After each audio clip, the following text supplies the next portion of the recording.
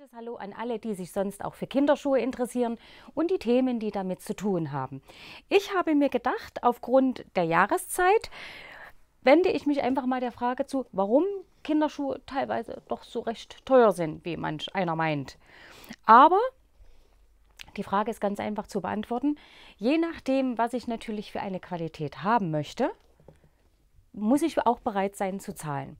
Wir wollen mal eins äh, ganz vorneweg stellen über die Schuhe oder die Marken, die ich jetzt rede, die setzen schon mal ein gewisses Qualitätsniveau voraus. Das heißt, sie haben geprüfte Leisten, die werden also nicht irgendwo zusammengeschustert auf ausrangierten Leisten, die keine Gültigkeit mehr haben, weil das gibt es in der Schuhindustrie auch.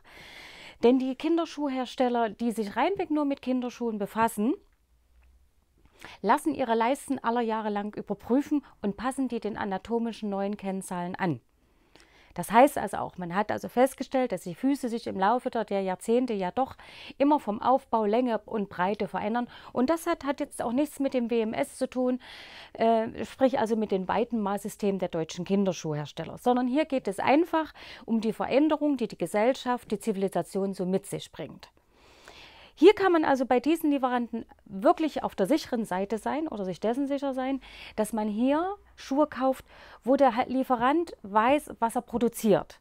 Bei vielen Billiganbietern muss ich sagen, wenn ich die irgendwo in der Wühlkiste sehe oder beim Kaffeeanbieter, beim Textilisten, die es da auch einige gibt, die da äh, zur Ergänzung ihrer Textilkollektion Schuhe produzieren, da muss ich sagen, da sollte bitte Vorsicht geboten sein, es sei denn, es ist der absolute Ausnahmeschuh, ohne dem das Kind jetzt nicht gewillt ist, das Geschäft zu verlassen. Aber ich sage es mal so, wir reden hier von hochwertigen Kinderschuhen. Das heißt, das fängt für mich bei dem ver verwendeten Material an. Wir haben es fast immer mit Lederschuhen zu tun und davon gehe ich, ich sage mal, bei unseren Lieferanten zu 90, 95, 97 Prozent immer davon aus es sei denn, es sind vegane Materialien oder stoffliche Materialien. Aber wir haben es immer mit einem super tollen Werkstoff, nämlich Leder, zu tun, was ich einmal als Glattleder bekommen kann. Ich kann es einmal in der angeschliffenen Version bekommen, dann nennt es sich Nubuck-Leder. Und wir haben es auch einmal hier mal in der Kombination mit genarbtem Glattleder und in der Kombination mit Velurleder zu tun.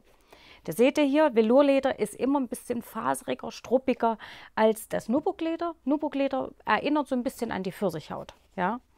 So, und nun muss man natürlich eins sagen, Leder ist ein Werkstoff, ähm, der Geld kostet. Den kriege ich jetzt nicht, ich sage jetzt mal, das, den Doppelzentner für einen Appel und ein Ei, sondern ich muss natürlich auch mit sagen, alle Kinderschuhlieferanten achten auf eine ordentliche Qualität. Das heißt, sie sind chrom frei gegerbt. Sie haben meistens eine vegetabile Gerbung. Schadstoffe werden auf ein Minimum reduziert.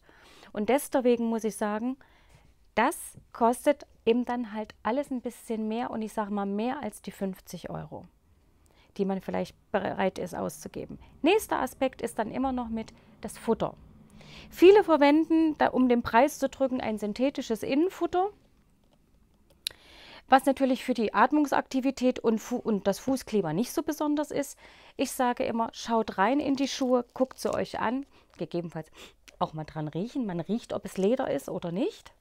Ja, aber wer zum Beispiel wie hier ein super tolles Kalbsleder verwendet, Kalbsleder ist eigentlich das teuerste Material neben einem wunderbar gegerbten Schafs- oder Ziegenleder, das teuerste. Das wird hier als Futterleder verwendet. Ja, oder wir haben es mit einem Wollfilz zu tun, gerade jetzt passend für die Jahreszeit. Nichts Synthetisches, kein Chenile, kein Polyester, sondern Wollfilz. Ja?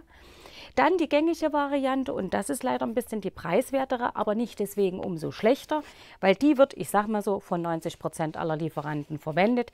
Das sogenannte Plüsch- oder Teddyfutter. Polyester-Acrylfutter mit einer super wärmenden Eigenschaft, was aber auch schnell wieder trocknet. Und dann kommen wir zu den neueren und meist oder meist nachgefragten Futtermaterialien, auch jetzt passend für diese Jahreszeit.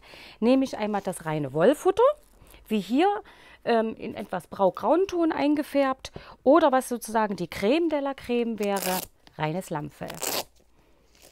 So, Lammfell bedeutet, ich verwende bei diesem Schuh zwei Lederstücke. Einmal für das Außenmaterial, einmal für das Innenmaterial. Und wenn ich schon gesagt habe, es handelt sich dann immer um ein hochwertiges Produkt, dann sind Sie mir bitte nicht übel, wenn gerade dieser Schuh über 60 Euro kostet. Ja? Ich sage aber auch, die Kinderfüße sollten es einem wert sein. Auf der anderen Seite ist, diese Schuhe vertragen mehr als einen Träger. Das heißt, die gehen nicht gleich kaputt. Montagsschuhe gibt es überall mal. Aber glauben Sie mir, die Reklamationsquote bei meinen Lieferanten liegt unter 3%. Ich glaube, dass von diesen Zahlen würde jeder Discounter träumen. Und in diesem Sinne möchte ich, dass Sie einfach ein bisschen mehr auf die Schuhe achten, die Sie demnächst Ihrem Kind anziehen. Und vielleicht entscheiden Sie sich dann doch beim nächsten Mal für den, das höherwertige Modell. Das wäre schön. Also bis